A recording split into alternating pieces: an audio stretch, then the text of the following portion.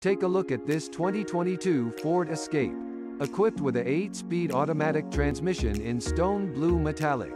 This car comes with some great features including all-wheel drive, brake assist, Android Auto, anti-lock brakes and more. Come in and check it out today.